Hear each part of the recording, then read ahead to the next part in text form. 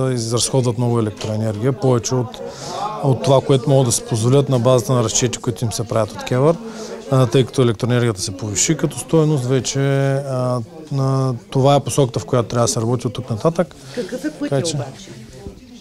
Пътя подмяна на помпени агрегати, намаляне драстично на загубите в градски условия.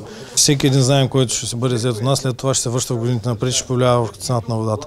Това е нещо, което трябва да бъде в определени, в определени граници, за да може цената да е поносима за самите граждани. Така че по-скоро тук трябва да се включат много активно и другите финансови инструменти, т.е. през държавен бюджет, през европейско финансиране,